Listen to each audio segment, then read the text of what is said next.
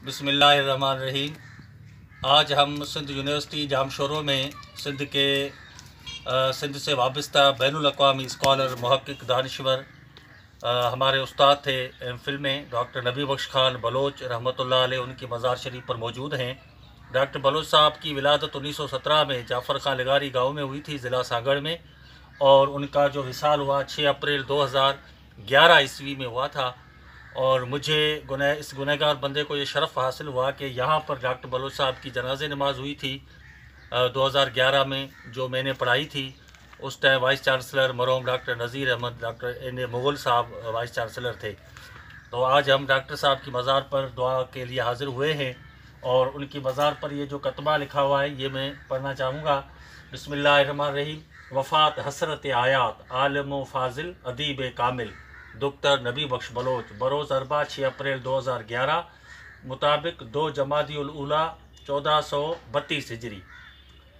ये फ़ारसी ज़बान पर्शियन में कतबा है, गुजशत अज जहाँ फ़ाजिलो नामदार, यानी जहाँ से एक फ़ाजिल बड़े नाम वाले चले गए।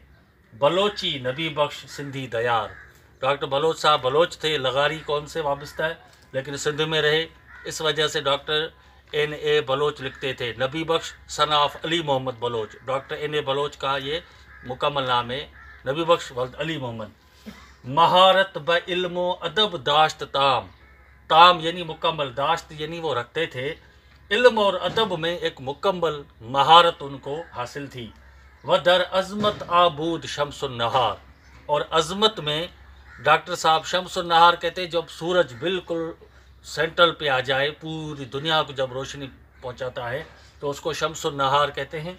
तो डॉक्टर साहब अजमत में जो है शम्स नहार थे, आफ्ताब थे। तसानीफ़ उबूद जायद जे सद।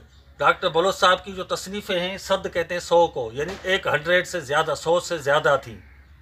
उसमें लोक अदब हो, अल्लामा और शाह लतीफ़ भिटाई हो, सिंध की क्लासिकी शायरी हो, मौसीकी हो, सिंधी लुगात है चालीस सनफ़े हैं लोक अदब की। इन सब पर सौ से ज़्यादा डॉक्टर साहब की सिर्फ़ किताबें हैं बाकी उनके मकाले जो हैं वो तो हज़ारों में हैं। तसानीफ़ उबूद जायद सद व तहकीक मानत अजू यादगार। डॉक्टर बलोच साहब ने जो रिसर्च की तहकीक की उसके जो मैार मुकर किए उसकी वजह से आ, कोई भी आलम जो है डॉक्टर बलोच साहब के पल्ले का नहीं हो सकता। उनकी रिसर्च में तहकीक में उनका इतना जो उनको मलका था। चूँ पुरसीद इदरीस हातिफ बगुफ्त। इदरीस जो इसके शायर हैं, उसने वो कहते हैं कि हातिफ से जब हमने पूछा तो उसने क्या कहा? दरी आयत यक ज़्याद शुमार। बख्वा तो उसने कुरान शरीफ की एक आयत की तरफ़ हातिफ ने इशारा किया, बख्वा फ़द खलीफ़ी इबादी से बस। सूर्य फजर की ये आयत है अल्लाह के बंदो जन्नत में दाखिल हो जाओ। तो फ़द खलीफ़ी इबादी, इसका अदद है नौ सौ दो। उदखोली जन्नती। ये एक इल्म अबजद में जो तारीख़ के निकालने का एक फ़न है बड़ा, जिस पर इंशाल्लाह हम कभी बात करेंगे। तो 902 निकलता है अदद फ़द खलीफ़ी आबादी से उद खलीफ़ी जन्नती से निकलता है 1108 इल्म अबजद की रोशनी में। और इनको हम जब मिलाते हैं तो ये 2011 बनता है, जो डॉक्टर बलो साहब की वफ़ात का जो साल है, वो इससे निकलता है। वगर साल हिजरी बख्वाही नवीस। अगर हिजरी, ये ये तो हो गया ईस्वी साल। कहता है कि हिजरी साल अगर पूछना चाहो तो फिर ये पढ़ो वो मगफूर से हक शुद्ध बिला शक ए यार। वो अल्लाह ताला की तरफ़ से बख्शे गए। उनका इल्म, उनका अमल इतना था। और इससे जो लाइन से जो सन निकलता है, वो निकलता है सत्रह सौ बावन और इससे निकलता है तीन सौ बीस। ये हो गया चौदह सौ बत्तीस हिजरी। यानी डॉक्टर साहब की वफ़ात चौदह सौ बत्तीस हिजरी दो हज़ार ग्यारह ईस्वी में हुई। तो इल्म अबजद में ये चीज़ें निकल आई ईस्वी सन भी और हिजरी सन भी। बहिम्मत सरफ करद उम्र अज़ीज़। और अब डॉक्टर बलोच साहब की उम्र कितनी थी, वो भी अबजद से निकलती है। अज़ीज़ लफ्ज़ से, अज़ीज़ यानी प्यारी उम्र थी। अज़ीज़ की आप जब इल्म अबजद में उसको कैलकुलेट करेंगे तो 94 यानी चौरानवे जो है अदद आएगा। और डॉक्टर बलोच साहब की उम्र जो है चौरानवे साल थी। विलादत उ सद शुक्र एज़त गफ़ार। अब कोई पूछे कि डॉक्टर बलोच साहब की विलादत का साल क्या था?